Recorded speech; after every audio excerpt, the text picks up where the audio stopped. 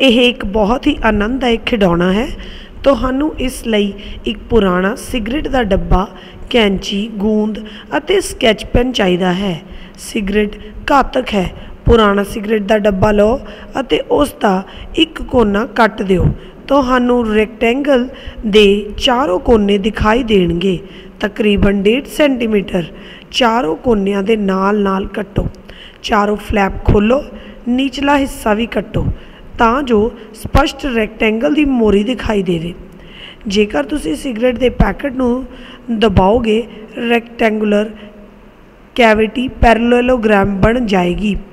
ਇਹ ਚਾਰੋਂ ਫਲੈਪਸ ਨੂੰ ਹਿਲਾਏਗੀ। ਹੁਣ ਚਾਰੋਂ ਫਲੈਪਸ ਨੂੰ ਗੂੰਦ ਲਗਾਓ। ਹੁਣ ਫੀਡੋ ਡੀਡੋ ਦੇ ਸਾਰੇ ਸਰੀਰ ਦੇ ਅੰਗ ਫਲੈਪਸ ਤੇ ਲਗਾਓ। ਸਭ ਤੋਂ ਪਹਿਲਾਂ ਚਿਹਰੇ ਤੇ ਗੂੰਦ ਲਗਾਓ। ਫਿਰ ਦੋ ਹੱਥ ਤੇ ਅੰਤ ਵਿੱਚ ਲੱਤਾਂ। ਹੁਣ ਜੋਕਰ ਫੀਡੋ ਡੀਡੋ ਨਾਚ ਕਰਨ ਲਈ ਤਿਆਰ ਹੈ। ਹੁਣ ਸਿਰਫ ਸਿਗਰਟ ਦੇ ਡੱਬੇ ਨੂੰ ਫੜੋ, ਫਿਰ ਇੱਕ ਪਾਸਿਓਂ ਦਬਾਓ ਅਤੇ ਫਿਰ ਦੂਜੇ ਪਾਸਿਓਂ। ਫੀਡੋ ਡੀਡੋ ਬਹੁਤ ਵਧੀਆ ਨਾਚ ਪੇਸ਼ ਕਰੇਗਾ।